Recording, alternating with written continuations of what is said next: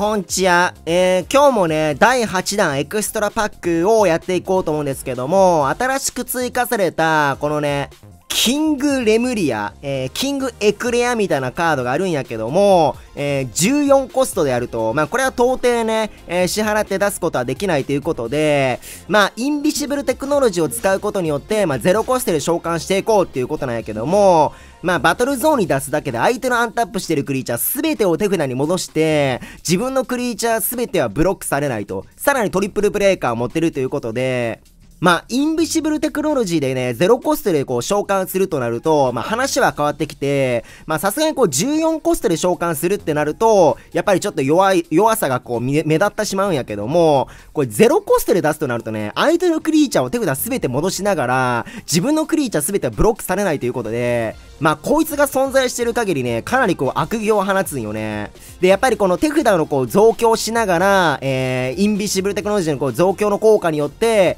まあ手札も補充しつつ、その最強のカードを手札から出す。で、その最強のカードっていうのが、このキングレムリアっていうことで、まあこのカードに、ね、当てるということで、やっとね、インビシブルテクノロジーで出せるカードっていうのが、こう明確になったっていうのが、この水の文明のね、えー、今の環境なんやけども、まあ今回ね、このキングレムリア以外に、えー、クリスタルツバイランサー、クリスタルツバ、おえっていうカードを入れることによって、まあ自分のリキッドピーペルがね、4枚以上あれば、無料でね、出すこともできると。要はそのキングレムリアだけにね、焦点を当てるんじゃなくて、まあクリスタルツバイランサーであったり、それからコスモビューね。まあ、これもインビシブルテクノロジーで強いカードなんだけど、ブロッカーを出しつつ、えー、カードを1枚引きつつ、ダブルブレーカーを持ってる。まあ、インビシブルテクノロジーのね、こう、効果を最大限まで活用できる構築っていうのが、まあ、やっとね、今期のこう第8弾で生み出すことができたと。それから、この俺を超えてみな、アクアガードを採用することによって、しっかりと、えー、低コストでブロッカーとしての役割を担っていくと。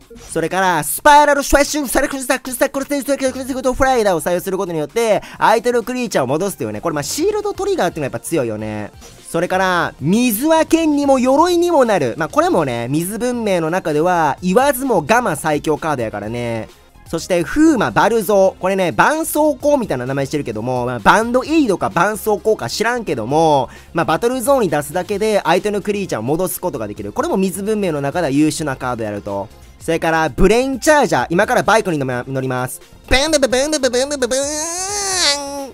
このブレインチャージャーもね、やっぱ水文明の中ではやっぱね、水文明以外の構築にもよく入るんやけども、やっぱドローしながらね、そのマナーをチャージできる。これやっぱ強いよね。それから、まあ、これはもう言わずもがま、出直しおじさんをしっかり対応すると。そして、今回ね、超新星マーキュリーブリザード、えー、マープナチュレを採用することによって、まあ、育毛剤マープナチュレ。これね、相手の呪文効果をね、打ち切ることができる。まあ、これもリキッドピープルがね、いるとコストが下がっていくできないけども、まあ、やっぱ水文明のね、このマーキュリーブリザードを採用することによって、非常にこう安定的な、えー、力を手に入れ入れることができると。それから、電脳コイルネオイングランドを採用することによって、サッカーボールのね、中から生まれた、紐球の汁を耳たぶにね、合成していくというね、特許を獲得することができると。で、まあ、今回ね、この、まあ、キングレムリアを採用する、えー、水炭のね、えー、インビシブルテクノロジーの構築使っていくんやけど、かなりね、この構築今勝てるということで、まあ、キングレムリアね、キングエクレアに関しては、私も今回2枚ね、えー、DM ポイントを消費してわざわざ作ったんで、まあ、この構築がね、神の構築だとそれが分かってたからね、この構築が強いっていうのは分かってたからこそ作ったんやけども、やっぱその14コストのカードを0コストで出せるっていうこのロマンは、どのデッキにもね、揺るぎない真実を与えるんじゃないかなと思います。さあ、マッチングしました。今回ね、水文明の最強構築を、まあ、使っていくんやけども、とりあえずね、アクアカードなどはちょっとマナーチャージ置いていこうか。で、今回ね、このキングレムリア、キングエクレアを使うことによって、この最先端のインビシブルテクノロジーを使って、対戦相手をね、おお まあ、インビシブルテクノロジーは、ちょっと2枚はちょっと重いので1枚いっていこうか。さあ、かかってきなさい。私に勝てるという2文字が存在するというのならばな、でね、今回このシールドトリガーのスパイラルスフェッシングスペシュシートフライダーを採用することによって、相手のクリーチャーを手札に戻すことができると。いくぞ。まずは1枚目。でね、このブレインチャージを使うことによって、えー、マナーチャージをしながらドローソースを当てることができると。あで、まあ、対戦相手をね、しっかり見ろっていつも言ってないけど、お前5色使ってくるってことは、おーなんだこいつ小賢しいな。機動賢者金。お前、キノコみたいなカード召喚すんな。ブロッカーでパワーアタッカー2500。なかなかやるじゃないか。じゃあまずはアクアガードの汁をマナに置きながら、ブレインチャージ発動ブーンあー小賢しいな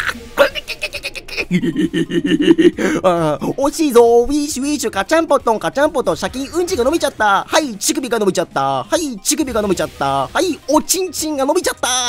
おちんちんおちんちんおちんちん。あまあ私の力を見せてあげようじゃないか。まあこれね最速で7ターン7コースのインビシブルテクノロジーを打つためにまあここねマーキュリーギガブリザード、えー、育毛剤ね、えー、マープナチュレは消えてもらってブレインチャージをまずは1枚目。お、いいね。えー、風魔バルゾーね、絆創膏みたいな。まあ、バンドエイドか絆創膏みたいな議論がよく展開されるけど、どっちでもいいんだよ、タコ。お前らはたこ焼きかなイカ焼きを、イカリンゴ食ってればいいだけの話なんだ。うわお前、ゆうちょやな。ウケるわ、ほんま。ウケる。ウケるんだよ、お前のやってることは。ウケる。ウケるなじゃあまあここでもうね、えー、インビシブルテクノロジー行かしてもらうぜ。あ最先端の技術発動。これ水軍やっぱ一色の構築やっぱ、よっ！ウケるなまずは1枚目。ウケる。相手のアンタップしているクリーチャーすべてお手札に文字さられるルナコスをビュー。な天体観測を召喚。ベーン。お前ら見ろよここ俺はゴリラだ。俺はゴリラだ。ウキウキウキウキ。俺はゴリラだ。ブー。14コストのキングレムリアね、キングエクレを召喚するためには、やっぱ多大なるコストをだ 勝ちました。